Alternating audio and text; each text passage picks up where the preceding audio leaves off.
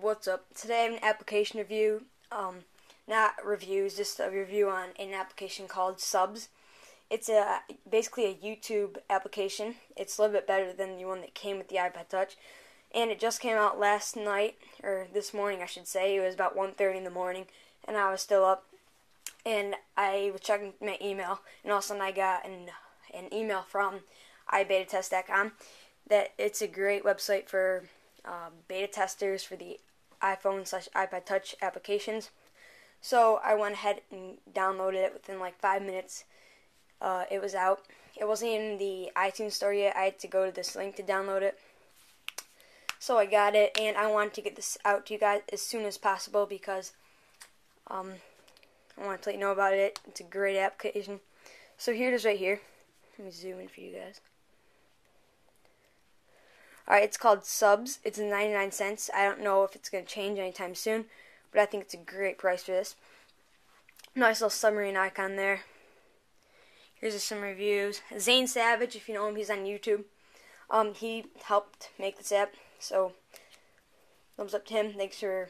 I think he had the idea of this and contacted these developers, so thanks to him for making this, or help making this possible. Now here's the icon right here. Says subs, the little submarine icon. And I'll tap it. Alright, so here you are presented with this screen. It does take a minute to load. But while that's loading, I'll tell you what this application does.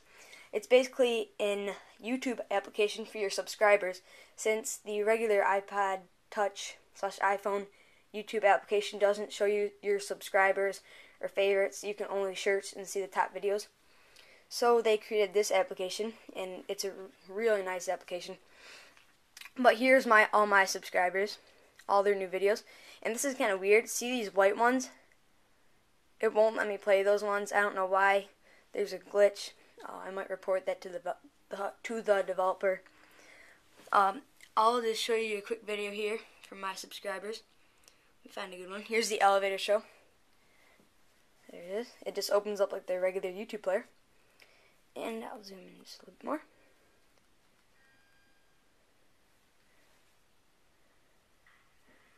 Alright, so there's the elevator show. I don't want to show too much of it. Um, I'll pause that real quick.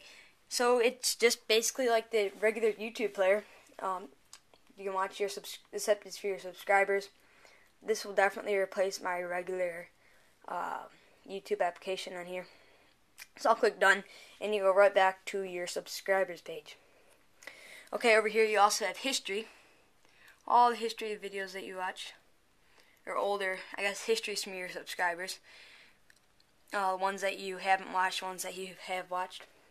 And over here you can still search. You can still search for videos. I'll search for iPhone.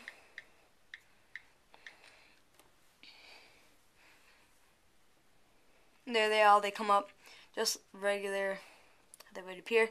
And that one's white too. I don't know if it's still loading or what. But it's nice. You can search still, so it's not just for subscribers. I can, there's a more tab right down there in the lower right. And this is for your uh, user um, settings. So you just type in your account name there. Oops, and enter one. So enter in, you can enter in any name. You don't need a password, which is cool because subscribers are public information. Uh, that's all you see. You don't see anything else on their account. All you see is their subscribers. So you can type in anything. You can look at it's me Morpheus's, it's me Morpheus's videos. Anyone's iTouch iPads. You can look at all their subscribers, um, which is kind of neat. If you want to see what they're watching, I'll click done there. So I just use type new username here, and I already did, and then just click here. Okay, sorry about that, guys. I had to restart the application. For some reason, it didn't want to show me my most recent subscribers. Again, it's a new application, so I don't know. There's probably still some bugs with it. But if you go down to the bottom here, you also have a next uh, button. Oops, gotta get it right on there. There you go and it'll bring you to the next page all your subscribers. It does take a minute to load, a few seconds, and you can just scroll up through all your th- the older ones, and you can go through back to previous, and it keeps going on. I'm not sure how far it goes, but that's pretty much just application. It's a pretty simple application just for YouTube subscribers. If you're a heavy YouTube user or even a regular one, I definitely recommend you go get this. It's only 99 cents, so I recommend you go check it out, guys.